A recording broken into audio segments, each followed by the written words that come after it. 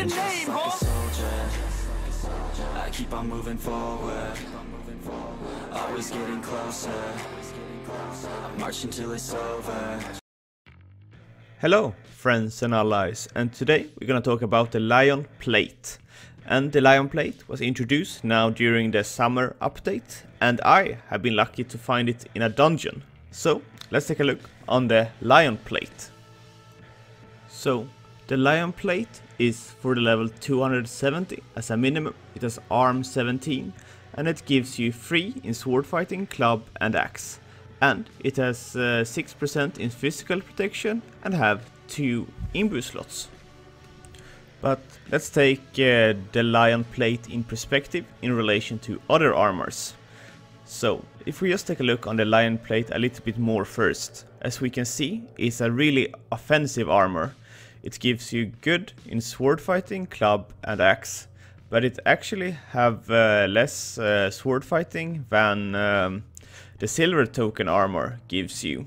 So this is uh, somewhat uh, in between armor, where um, it's worse in damage than the silver token armor, but it gives more than both the Ornate chestplate and Falcon plate. But it also wields less uh, physical protection. As we can see, the Falcon plate has 12%, the Ornate chest plate has 8 and the Lion plate has 6% against physical protection. So, when is the Lion plate a good armor? I would say it's a good armor when you do not need the protection anymore.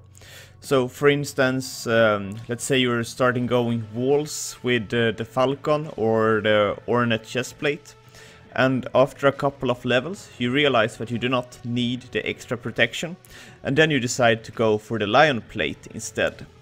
So and I will also say it's also a really good option because this armor gonna be a lot cheaper than Falcons and will most likely just be a couple of bit uh, extra KKs in relation to the Ornate chestplate. So this is a really good armor and it's more damage.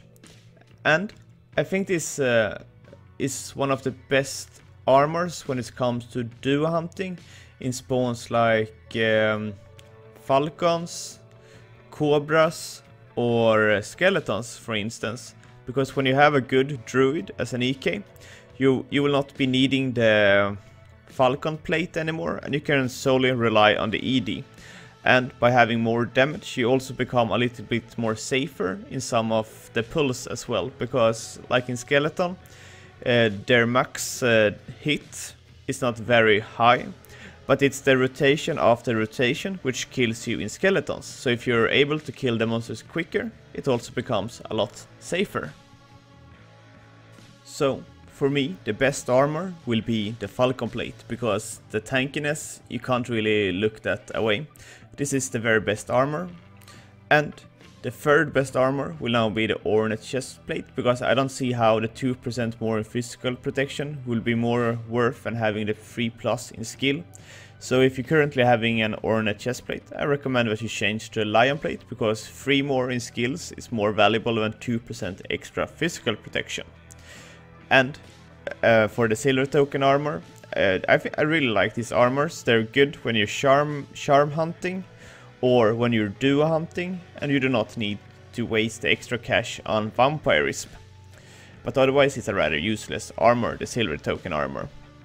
So a, I think the lion lion plate is a really good option uh, when you start to when you want to replace your ornate chest plate and it's a good combination for um, the Falcon plate when you want to be dealing more damage and you feel more comfortable in a spawn. So, that was it for today's video. Thank you guys for watching and I highly recommend to buy the Lion plate and I will see you guys in the next video. And remember that the Lion plate will most likely drop in value, so if you do not have the cash today, you can just wait or just continue to farm the Ancient Lion Knight or Drume.